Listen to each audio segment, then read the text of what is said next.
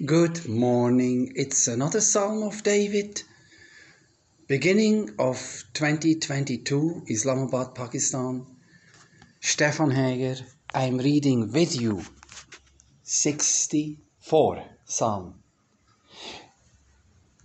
where David expresses his relationship with the living God. Do you have a relationship? He longs to have one with you.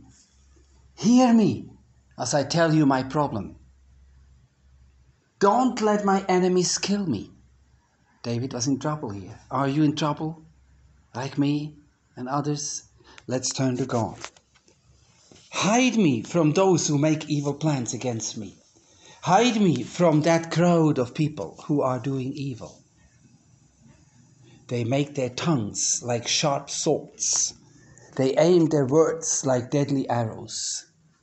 Slander, gossip, backbite, biking, backbiting, curses, criticism. Are you going through verse 3? Their tongues are like sharp swords. They aim their words deadly. Look, like deadly arrows. They shoot from their hiding places at people who aren't guilty of doing anything wrong. They shoot quickly. They aren't afraid of being caught. They help each other, they make evil plans, they talk about hiding their traps, they say, Who can see what we are doing?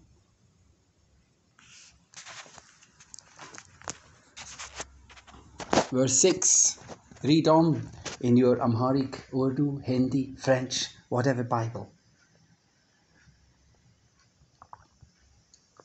Enjoy coffee with me as we read, but remember,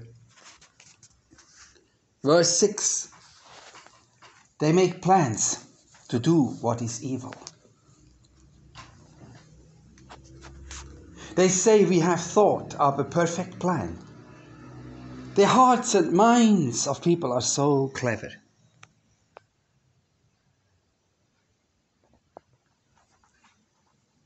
But God will shoot my enemies with his arrows.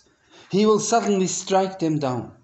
He will turn their own words against them. He will destroy them. All those who see them will shake their heads and look down on them.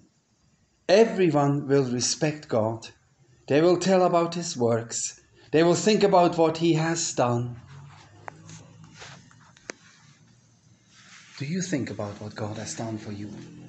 This is a spiritual warfare. Let's praise Him for His might and power.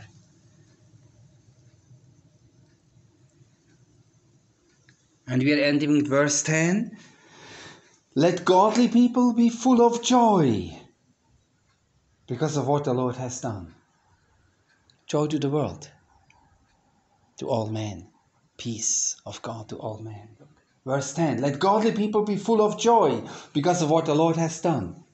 Let them go to Him for safety. Let all those whose hearts are honest praise Him